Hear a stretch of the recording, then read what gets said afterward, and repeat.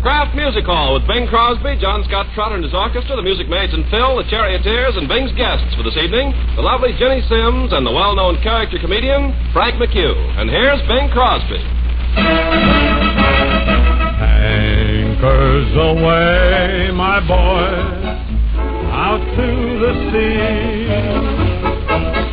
You'll never change your course. You're sailing on to victory. Anchors aweigh, my boys. You're tried and true. You sail the seven seas and hoist the navy, hoist the navy blue.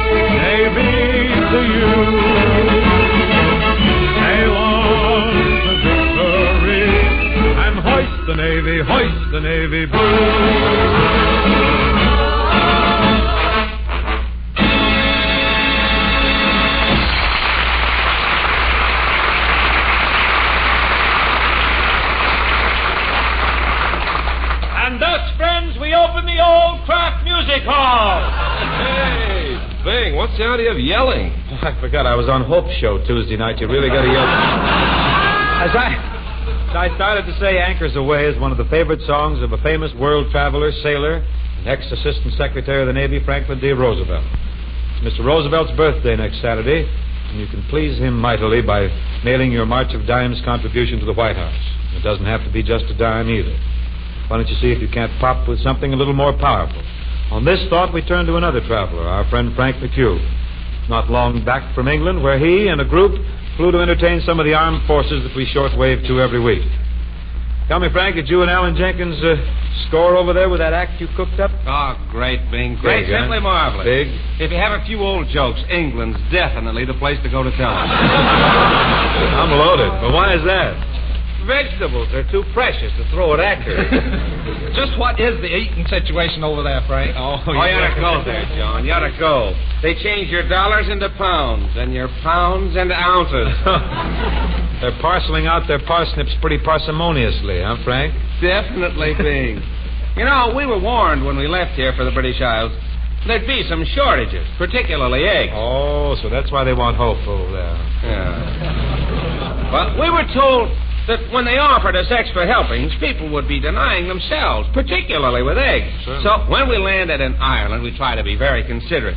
But we were kind of surprised at the very first breakfast they served us Irish bacon and eggs. Eggs? Yes. And we ate them, and oh, they were great. We sat there looking around, and then the Irish waitress come up to us and said, "Would you like another egg?" You know, and then remembering that we must be refused, I said, "No, thank you." And we talked and said how quaint it was here in Ireland. She came back and said, uh, "You could have another egg." We said, "No, thank you." And we talked some more, and she came back and said, "Well, could you eat another egg?" We said, "Yes, we could." And then she said, "Well, you'd better, because you'll get none when you get to England."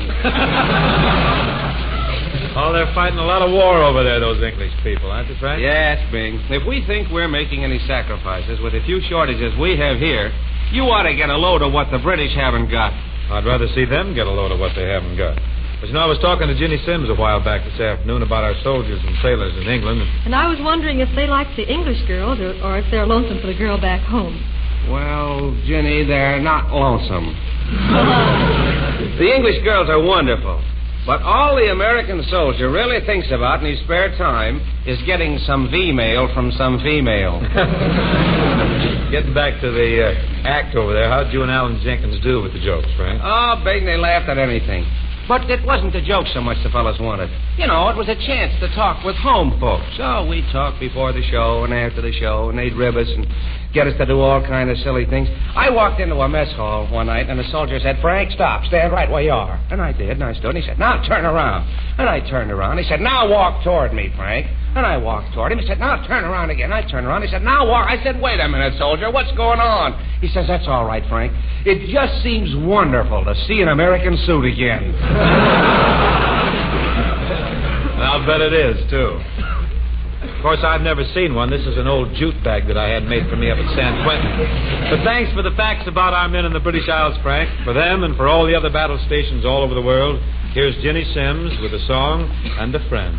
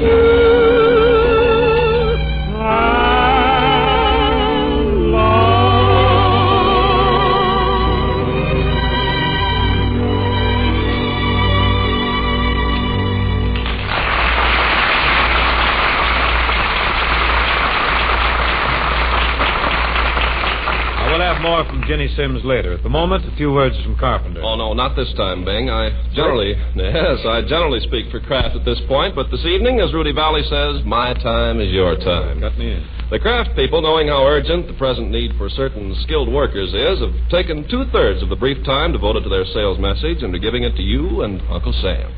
Well, Mr. Whiskers has asked me to spread it around that a lot of specially skilled workers are needed in various war production areas.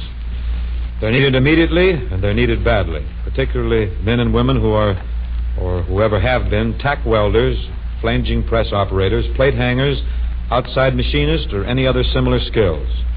It's a strange sounding list, but if you're in it, or if you've ever followed any skilled trade, you'll understand it.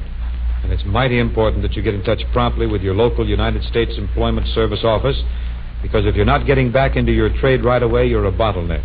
You're actually holding up victory. I'm told that every one of the skilled workers I just mentioned is almost as important to winning this war as a regiment of soldiers.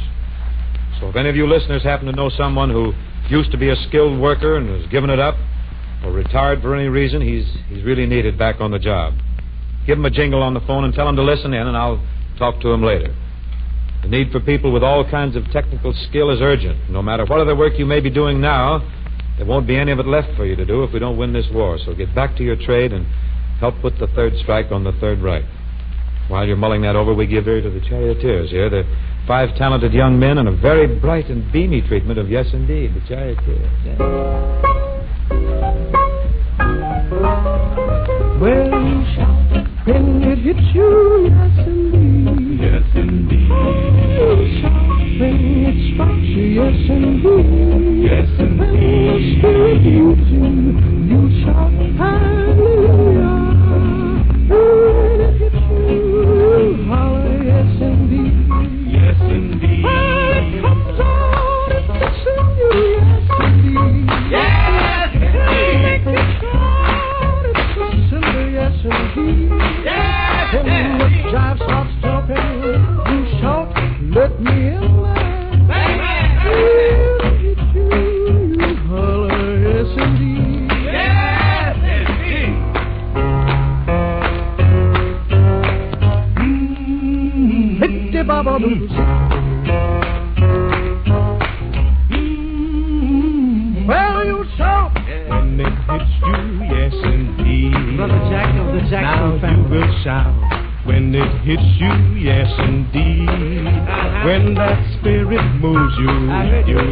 shout hallelujah.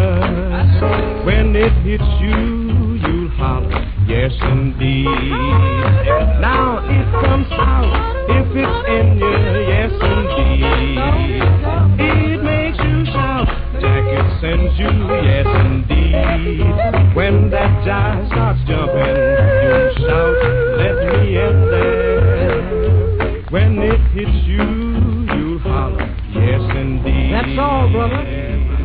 it hits you.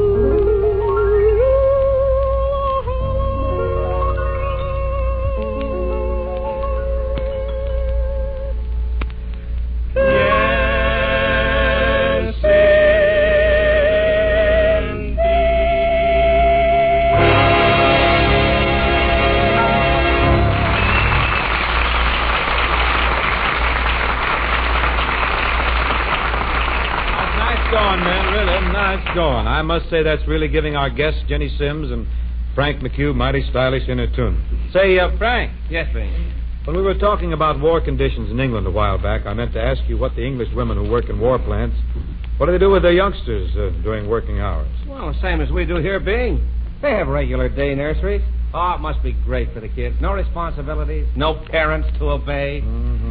I wish I was a kid again in one of those modern day nurseries. Oh, we could probably arrange it, Frank. I stand in pretty good over at the Kenneth Karpenbarper's Day Nursery for night workers' offspring. Nice spot, too. Caters to some of the best welders and riveters in town. There's the sign right over there. You can see it. It says, uh, all brats not called for within 30 years will be dropped in a claiming race at Strokesman's Park. Why don't we tiptoe over there, Frank, and take a peek, huh? It's the nipper's nap time, I think. Shh. Quiet, I'll,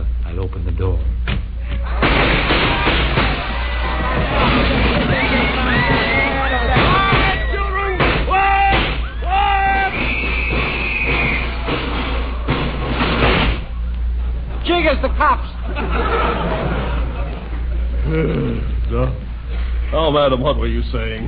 Well, uh, Mr. Carpenberper, I'm a riveter at Northrop. I'd like to enroll my son Frankie in your nursery school.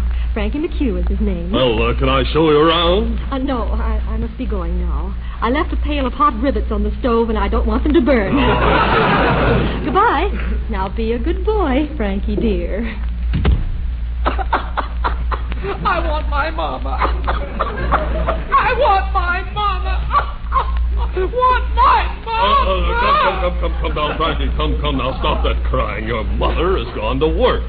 Can't we just pretend that I'm your mother? No, Mama's slacks are tighter than yours.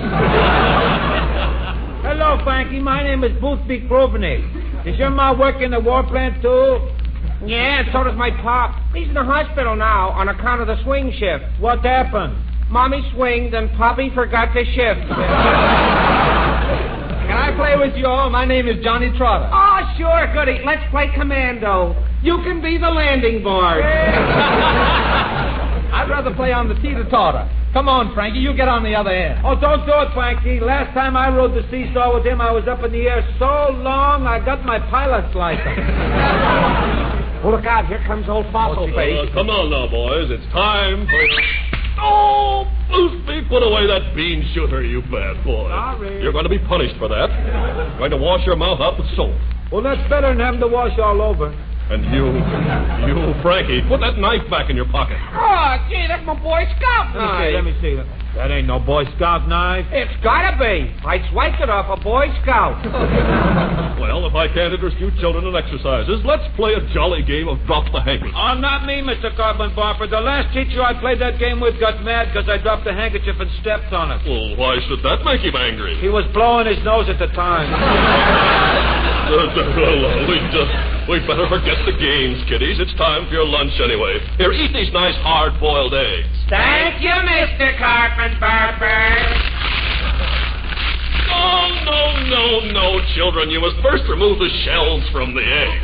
Every year, new rules with the eggshell. well, well, excuse me, boys, while I see what ails this little fellow over here. Uh, what's the matter, Schnooky? I think I got the sniffles. Well, why? Because I'm sniffing. That's Oh. why. And I ain't been taking snuff either. You gotta bet. I say you better get me a doctor. Well, you need one. Yeah. Well, I, I know a very good baby doctor. I'm too sick for a baby doctor. I gotta have a grown-up doctor. Oh, when you grow up, we'll get you one. Thanks. If you really want to know why I'm sniffling, it's because my little brother won't let me play with his electric train. Is he playing with it? Nah. All he's doing is sitting up there quietly for the last two hours with his hand on the switch. Good heavens, is he all right? I guess so. Only every time a streetcar goes by, his eyes light up. Well, more power to him. This is shocking. Say, Frankie. Frankie, can I ride on the new bike you came here on, huh? Can I ride on it, huh? Can Well, now, if you be careful, it's a brand new bike. And if that bike gets broke, my mama will kick a hole in my What are you head. talking? Careful, careful. Well, I'm the best bike rider in the whole world. I ride nunnies sometimes. Watch here. Yoo-hoo! Look at me go. Look at me. No feet. Look. No hands. Look, no bike. Look. No teeth.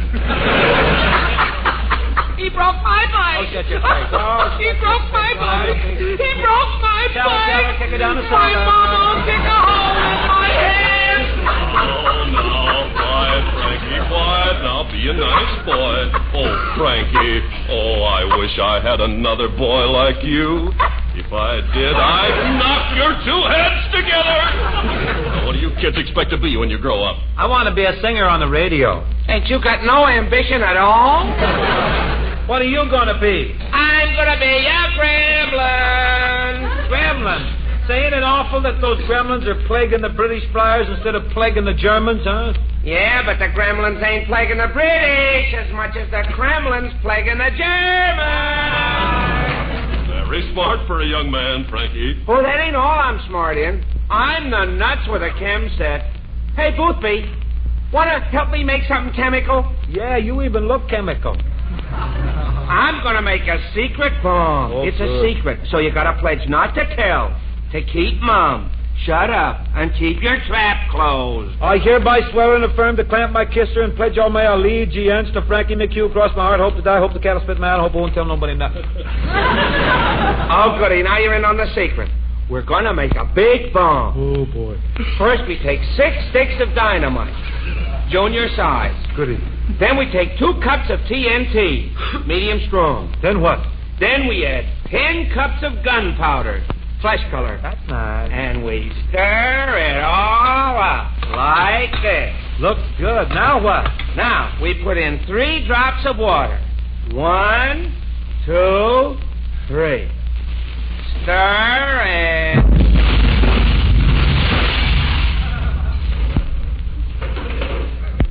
What do you know? Too much water.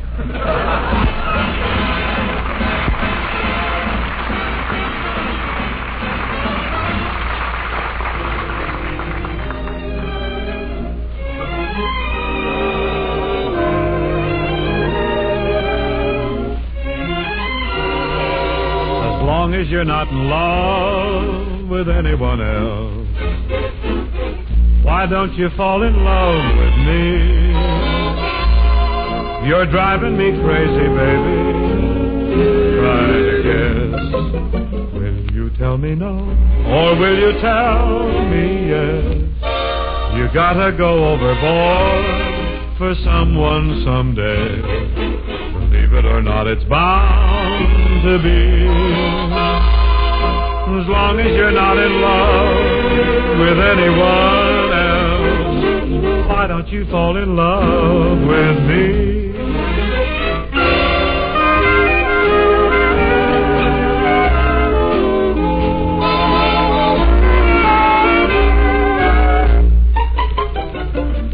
You're driving me crazy, baby.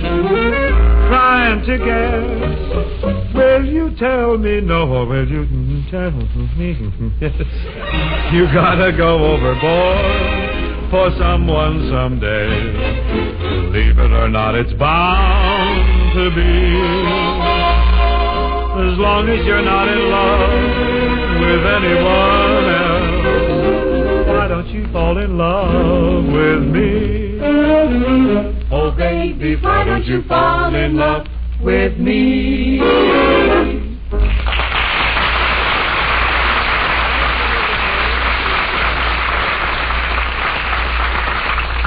Before we hear from Ginny Simms, here's just a brief word on another subject. All of you regular music hall clients, as Bing would say, have been hearing me talk about Velveeta for a long time. You know how this famous cheese food looks so golden and smooth. You know how Velveeta tastes, a cheddar cheese flavor so rich and yet so deliciously mild. And I think you know that Velveeta's good for you. But the reason for that is something you can't see or taste. In that golden Velveeta, there's protein, complete, high quality protein from milk to help build strong muscles. There's food energy for pep and precious milk minerals and vitamin A and vitamin G or riboflavin. All this explains why Velveeta is such a good idea for lunch boxes and how this smooth melting cheese food can really help you homemakers with today's main dish problem. Of course, there isn't as much Velveeta as there used to be. So, homemakers, when you get this nutritious cheese food, use it wisely. And when your food dealer is temporarily out of Velveeta, take one of the other famous Kraft varieties, of course.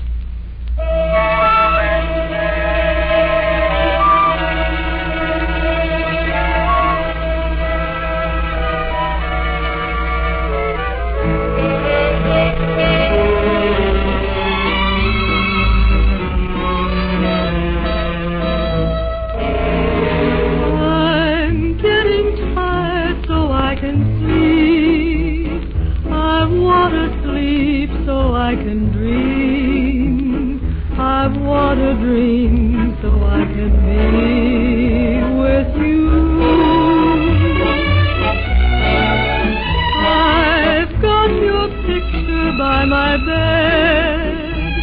Will soon be placed beneath my head to keep me company the whole night through.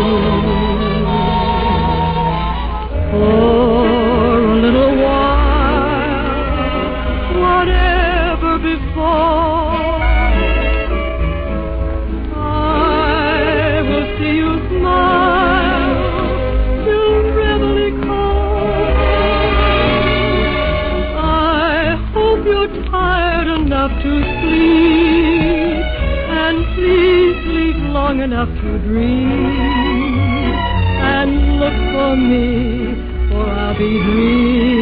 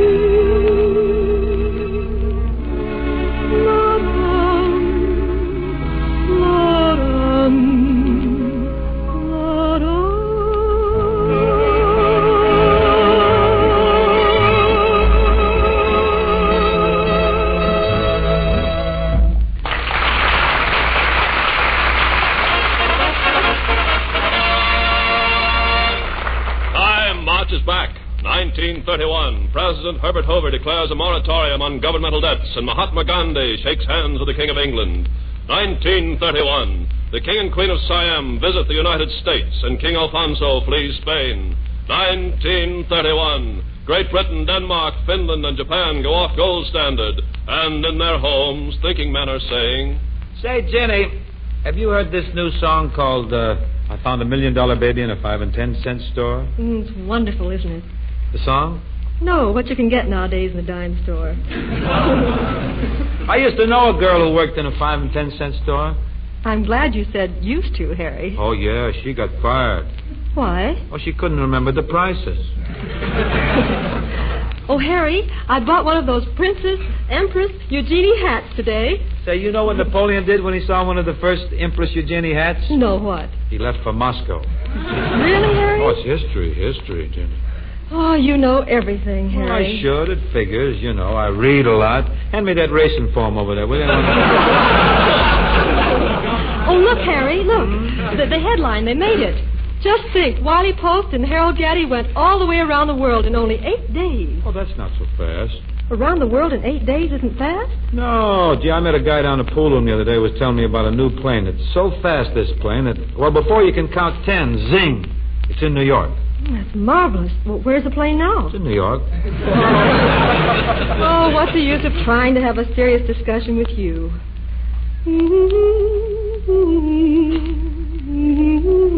What's that there? What's that?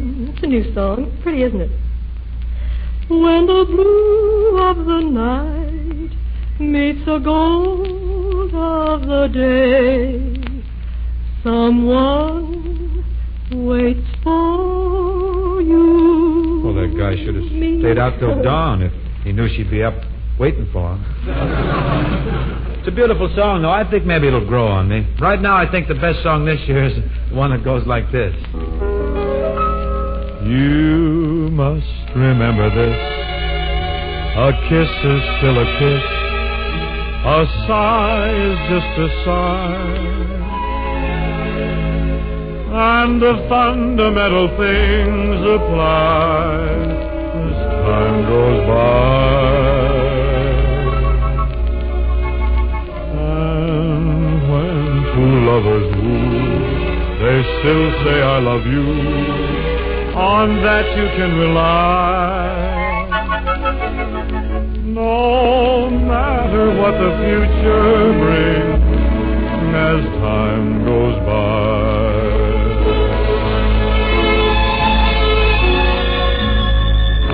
And love songs never out of date. Hearts full of passion, jealousy and hate. Woman needs man, man must have his mate. That no one can deny. It's still the same old story. A fight for love and glory. A case of do or die. And the world will always welcome lovers as time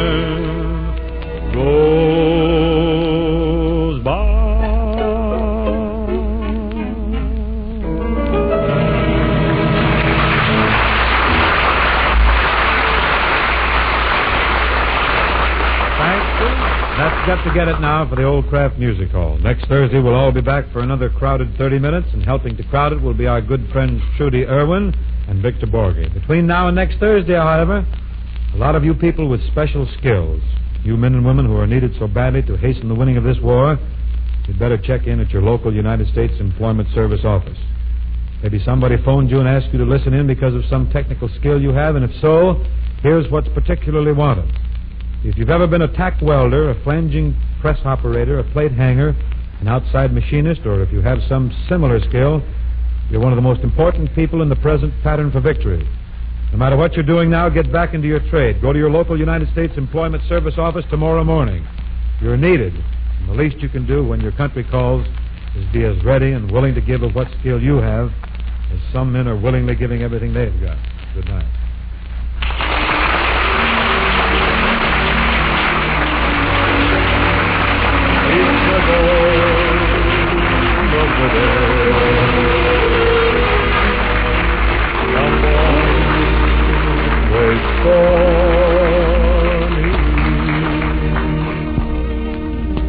Kraft Music Hall next Thursday at the same time to hear Bing Crosby, John Scott Trotter and his orchestra, the Music Maids and Phil, the Charioteers, and Bing's special guests for that evening, Trudy Erwin and Victor Borge.